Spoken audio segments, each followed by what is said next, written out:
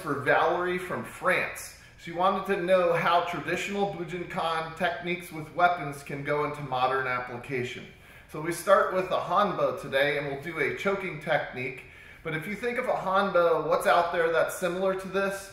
Oh, car antennas, uh, mops, all sorts of different sticks that you can find in many different places. Uh, sides of chairs, it gets to be interesting to kind of look at everyday weapons and modern things that are out there that you could use like coffee cups and stuff. So let's go with this for Valerie from France. So we have a hanbo here. Maybe the punch comes in and I come across and do a takedown technique with this particular weapon. That's kind of a traditional technique where I've caught the arm, come through. I've done a pinch technique here with my forearm, and then I drop down with my body in this application. You could do some type of an ending. Then we get into kusari fundo. So, there's all sorts of different flexible things out there. Seat belts, belts that you tab on your own being, neckties, lots of different things you can come up with.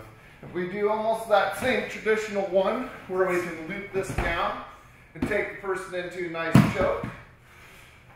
This application, you can uh, have a towel on you as well and just bunch it up really quick.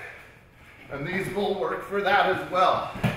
They're very easy to do and doesn't take much time. That modern application with unarmed self-defense then as that punch comes in, I scoop up and I come down with this.